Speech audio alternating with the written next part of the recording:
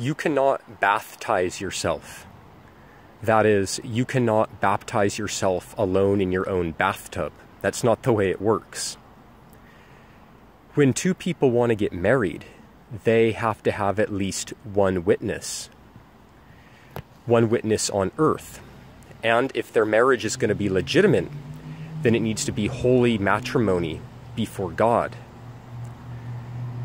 Jesus himself didn't even baptize himself, but he went to John the Baptist and he said, Let us do this to fulfill all righteousness.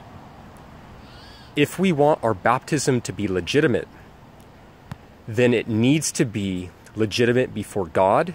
We need to make sure our heart is right before God, that we have true faith, that we're, that we're really committing to Jesus Christ with our whole life.